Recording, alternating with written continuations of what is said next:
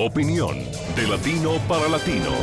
Es lograr que los personajes que mueven el mundo y toman las decisiones analicen y debatan los hechos que afectan nuestras realidades. Buscando con nuestras revelaciones. Nuestras investigaciones. Las posiciones de los protagonistas de la noticia. Y el análisis de expertos internacionales. El punto clave de cada noticia. Entérese de las noticias y forme su propia opinión. De martes a viernes al caer la noche. Por NTN 24. Esta es la noche en el continente americano. Cuando amanece en Europa y cae la tarde en Asia. Así cae la noche en el continente americano y transcurre la mañana y la tarde en el resto del mundo. La noche bajo la dirección de Claudia Gurizati.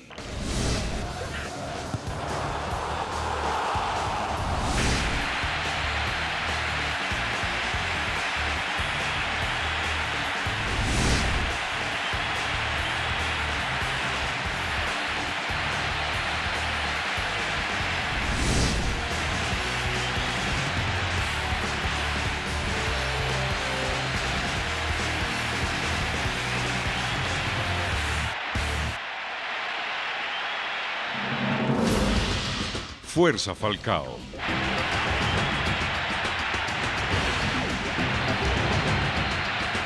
El continente americano podría quedarse sin una de sus máximas figuras para Brasil 2014. Comunicado Club Mónaco. Después de la lesión sufrida el miércoles, Radamel Falcao realizó exámenes médicos. Parece que el jugador tiene una lesión de ligamento cruzado anterior de su rodilla izquierda. A 140 días del inicio del Mundial de Fútbol, una alarmante lesión amenaza con la participación del talentoso delantero colombiano en el importante certamen. Yo tuve la experiencia también, porque yo me lastimé antes del Mundial de 70 y después me preparé y 70 fue el mejor mundial de, de, de mis cuatro mundiales. Un duro golpe de un defensa rival que no tuvo otra manera de frenar su destreza en la Copa Francesa lo tiene rumbo a un quirófano donde sería operado este sábado. El ligamento cruzado anterior es el principal estabilizador de la rodilla, que es este ligamento. Este ligamento da un control tanto en este sentido anterior-posterior como rotacional de la rodilla. Hoy, en el programa La Noche de NTN 24, el mundo del fútbol y sus seguidores llenan de ánimo en su recuperación al tigre Radamel Falcao. Voces de apoyo para un ídolo del balompié que toda la vida soñó con competir en un mundial.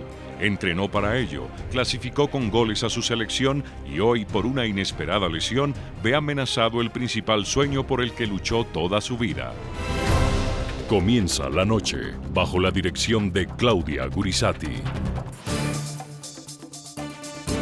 Buenas noches. La noche bajo la dirección de Claudia Gurizati enciende las luces para que usted vea el punto clave de la noticia. Soy Jefferson Beltrán. Bienvenidos. La noticia. La conmoción y la tristeza que generó en Colombia y en el continente americano la lesión de uno de los mejores delanteros del mundo. El punto clave de esta noticia. Durante un partido que disputaba en la Copa Francesa con su equipo el Mónaco, Radamel Falcao García sufrió la ruptura del ligamento cruzado anterior de su rodilla izquierda. La infracción podría dejar al talentoso jugador no menos de cinco meses por fuera de las canchas de fútbol. Mejoró un poco, traté de, fortalecerle anímicamente, pues eh, como le digo, tenemos una gran amistad y, la verdad que es incierto el, la, expectativa de poder llegar a un mundial cuando un tipo de cirugías como norma, como experiencia, requiere no menos de 5 a 6 meses para poder estar en condiciones atléticas, para poder competir nuevamente y volver a las canchas.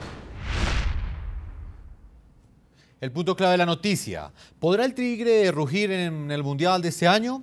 La grave lesión del colombiano Radamel Falcao García se da solo 140 días de que inicie en Brasil el Mundial 2014. El jugador que a sus 27 años está en la, cúspide, en la cúspide de su carrera siempre había soñado y entrenado para lograr su participación en un Mundial de fútbol.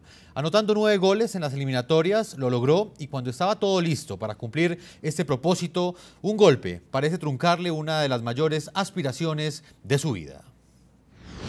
Radamel Falcao García, Quiero agradecerles a todos ustedes por tantos mensajes de apoyo en estas últimas horas. Me he emocionado mucho con el cariño que me muestran desde diferentes partes del mundo. No les voy a esconder que mi tristeza es enorme, mi corazón está destrozado, pero cuento con una esperanza del tamaño de un grano de mostaza a la cual me aferro y es suficiente para creer de que mi ilusión por el Mundial todavía está viva. Dios hace posible lo improbable, en Él creo yo. El mundo recibió hoy la peor noticia sobre la lesión de Falcao García.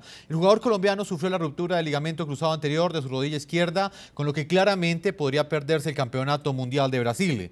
Falcao está en Portugal y allí hizo los exámenes que diagnosticaron la gravedad de su lesión.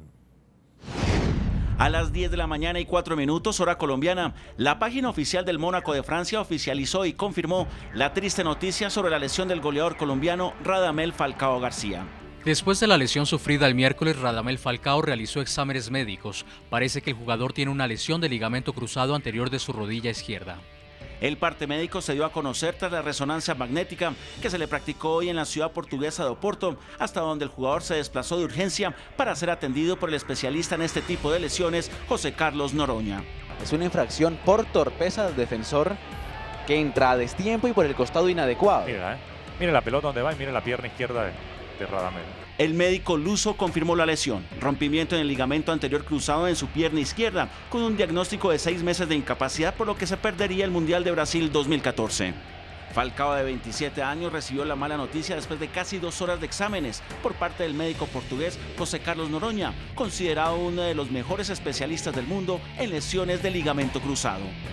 De hecho, el cirujano ha tratado a otras figuras del fútbol internacional como Pepe, Arjen Robin, Ashley Cole, Lucho González y Ricardo Carvalho, entre otros, y publicó hace cuatro meses un libro sobre su experiencia en este tipo de lesiones.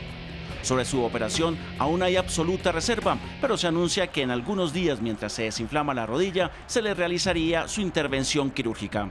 Ahora solo falta esperar una pronta recuperación sobre la lesión de Falcao, que no solo llenó de tristeza a todos los colombianos, sino al mundo del fútbol, que se privaría de ver rugir a un tigre en Brasil 2014.